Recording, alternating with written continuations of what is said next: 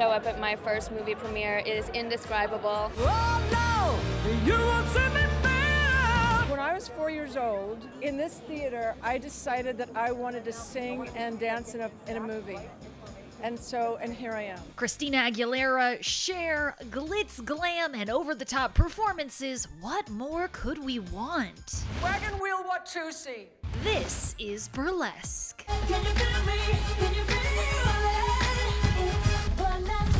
Musical film, which came out in November 2010, is celebrating its 10th anniversary.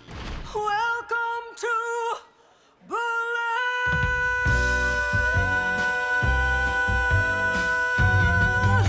And only E.T. was front and center every sparkly step of the way. It's great. I'm having a wonderful time. I mean, it sounds so bull, but I really am having a good time. We were on set in January 2010 as Christina added actress to her resume for the first time, playing the lead role of Allie. Hi, are you Tess? And you are in my mirror because? Paying my dues all over again. I'm the newcomer. I've just had a really amazing time making this movie. Just a completely different world and new chapter in my life. Acting is just a completely different animal. It can be painful at times and it can be exhilarating and but it's it's been just such a great learning experience. It's time. No, You're gonna hear me I don't want to hear you out. Do you ever listen to anything other than the sound of your own voice? And for Christina's first acting gig, no big deal, she shared the screen with Cher, who told ET she was impressed by Xtina's acting skills. She's really good. And we were, the other day, we were hamming it up so badly. It was just so, like vaudevillians, we might as well have been. And she was like keeping up. She was hot. I mean, it was like she was really up there. Her game is good. Can I tell you, I love her. I love Cher, and I never knew how much before this movie. Actually, I've always had tremendous respect for her and a woman that has done everything before anyone did it. It's just been interesting watching her and just her comfort level and just feeding off of that energy. Don't ever go behind my back again. Yes, ma'am. And don't ever call me ma'am again. Yes, sir. I, I mean, ma'am. I mean, Tess. Get on the floor. We had kind of the same relationship that Meryl and I had on Silkwood. And I wanted her to know that I wasn't going to pull any trick. I wasn't going to start her out facing the camera and then position her to where she, we were on her back.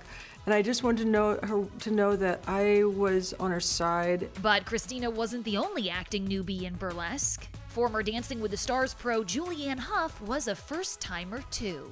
At some point, he's going to notice. He's a guy. He's not gonna notice until my belly's blocking the TV. It's unbelievable. I feel so blessed and so fortunate. I mean, Cher, but not only Cher, but like Stanley Tucci and you know Kristen Bell, Christina Aguilera. Christina Aguilera like was my idol growing up. So this is like, I still am like, I got to go over to her house and like sing in the studio with her, and I literally was driving home like on cloud nine, like, oh, this just happened, mom. Julianne reflected on the experience in 2018. I remember being in the bathroom stall because that was my first scene with her, is being in the bathroom stall and coming out and crying. And I didn't know that, you know, there's like 15 takes before you come close, and it was all, you know, first on Cher and then on me. And I remember her knocking on the door right before we went, and it was my close up. And she like said something to me that was super encouraging and just being like, you deserve to be here. And she did this whole pep talk, and I was like, got me to cry. I was like, oh, she's good. She's good. She really, she knew how to get me there. There were two firsts for Kristen Bell brown hair and playing a villain. as an actress, I'm super grateful that they gave me the chance because I've so often been the bubbly blonde next door, and it's it's kind of exciting when someone looks at you and goes, "I think you're really bad on the inside." You're cast. I quit! I'm glad. I slept with Vince the night after your honeymoon. Oh, Kristen is unbelievable. She is great. We fought. I beat the shit out of her windshield. I wanted to kill her, but it was great. We had a fight that was so unbelievable. You crazy bitch! In the film, Christina saves Cher's struggling burlesque club by introducing live singing and by doing so, taking the spotlight away from Kristen's character.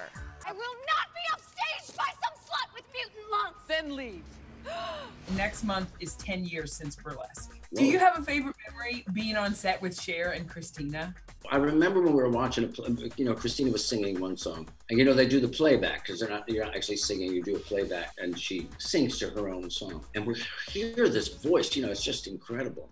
And I turned to Cher, and I was like, "How can she do that?" And Cher, Cher goes, I have no idea. You never told me you could sing like that. I tried to tell you. E.T. even escorted Cher to the movie's big premiere. I heard somebody needs a date for her movie premiere tonight. Yeah. Yeah? Who is she? It's you. Okay. And it's me. Do you wanna? And we're going. Let's yeah. do it. Tell me about this movie. Why is it special? Why'd you want to do it? because I wanted to sing. And I've never been able to sing in a movie. I was offered Mamma Mia to work with Meryl, but I was on the road, so I couldn't. And so I thought this is probably going to be the last time I am going to be able to sing in a film, and I just wanted to do it. Burlesque became a cult classic, and Cher got her chance to sing with Meryl in 2018's Mamma Mia, Here We Go Again. But we have a feeling even that isn't the last we'll see of Cher on the silver screen. This is far from over. You haven't seen the last of me.